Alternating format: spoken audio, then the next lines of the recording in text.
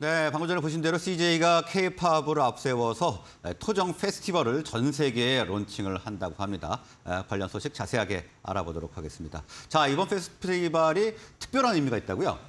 네, 먼저 이제 BEPC 탄젠트, 글로벌에 진출하는 BEPC 탄젠트에 대해 알아보겠습니다.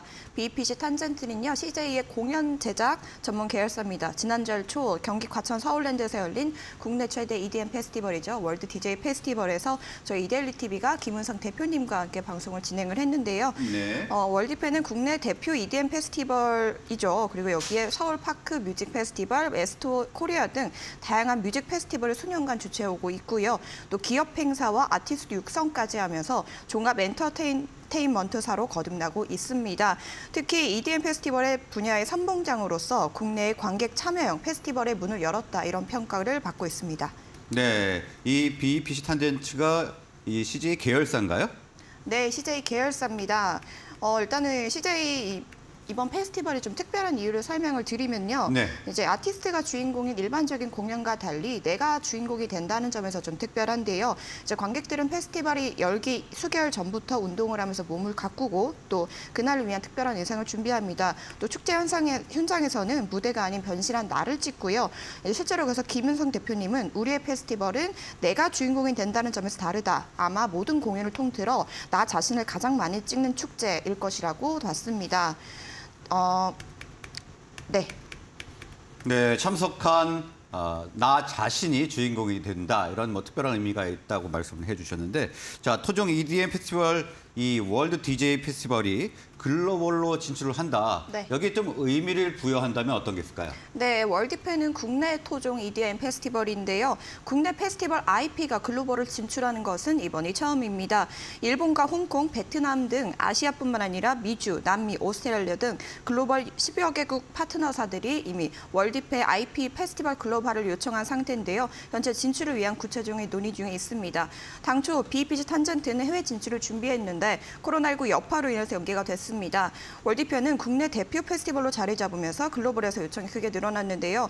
해외 관람객 비중은 실제로 기존 10%에서 현재 20%까지 크게 올라온 상황이고요.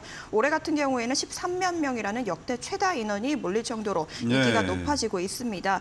이제 김은성 대표님은 EDM의 인기는 앞으로 10년간 더 갈 것이라고 봤고요.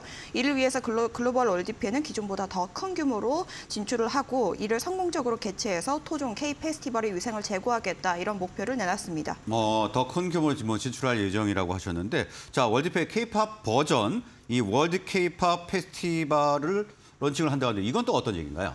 네, 아, 어, CJ는 월드 K-팝 페스티벌도 론칭합니다. 내년까지 10여 개국에서 선보이는데요. 이 2시간 남짓이 공연과 달리 8시간가량인 페스티벌인 만큼 K-팝뿐만 아니라 K-뷰티와 패션 등 우리 문화 콘텐츠 부스도 들어오면서 문화 전파 플랫폼으로 역할을 할 예정입니다. 네, 자 CJ가 그러면 지금 K-팝을 새 에, 문화 먹거리로 설정을 한 것 같은데 여기 이유를 좀 알아봐야 될 것 같은데요. 네, 이미 주류에 오는 EDM 음악과 같이 K-팝 역시 글로벌 시장에서 이미 대중적인 콘텐츠로 떠오르고 있다는 판단에서입니다. 특히 K-팝은요, 음악 외적인 부분이 워낙 발달해져 있는 데다가 해외에서는 K-팝 뮤지, 뮤지션들이 워너비 아이템으로 떠오르고 있는데요. 특히 공연과 음악에 강점을 가진 CJ ENM과 그리고 또 국내 대표 페스티벌 제작자죠. BEPC 탄젠트의 역량을 합하해서 시너지를 낸다면 글로벌 시장에서 충분히 가, 경쟁력이 있다는 판단입니다. 지난 2019년 5월 양사는 손을 잡았는데 코로나로 인해서 협업 프로젝트가 중단이 됐던 상황이고요. 이제 엔데믹을 맞아서 다양한 프로젝트를 준비 중으로 월드 K-팝 페스티벌도 그 일환입니다. CJ E&M 측은 K-팝 시장의 글로벌 저변 확대를 위해 다양한 형식의 라이브 공연 기획의 일환이라고 설명했습니다. 특히 K-팝을 활용한 대형 페스티벌이라 해외 바이어들이 많이 찾을 것으로 전망을 했고요. 결국 K-팝 뮤지션들의 해외 진출을 발판이 될 것이라고 봤습니다. 음, 예. 자, 일단 뭐 코로나 때문에 이 공연계가 상당히 힘들었을 것 같은데요. 네. 뭐 어떤 점이 좀 힘들었었고 앞으로도 어떻게 개선될 수 있는지 좀 말씀해 주시죠. 네, 말씀하신 대로 3년 동안 공연업계엔 칼바람이 불었습니다. 예. 집합 금지로 인해서- 공연장에 사람들이 모이는 것조차 첫 번째로 허용이 되지 않았고요. 또 확진자가 급증하면서 그나마 어렵게 예정됐던 공연마저 취소되면서 아예 공연 자체가 열리기 어려웠습니다. 이에 생존을 위한 자구책으로 온라인 생중계를 통한 비대면 공연이 열렸고요.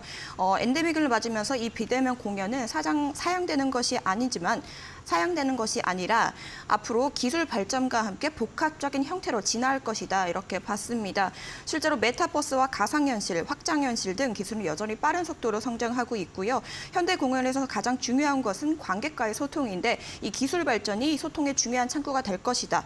때문에 비대면 공연은 앞으로 오프라인 공연과 함께 발전해 나갈 것이다 이렇게 봤습니다. 네, 자 이렇게 이번 페스티벌이 좀 아무쪼록 잘 성공을 해서 어, 우리 힘들었던 공연 업계가 정상화될 수 있는 그런 계기가 되기를 바라보겠습니다. 자 오늘 말씀 여기까지 듣겠습니다. 네. 고맙습니다. 감사합니다.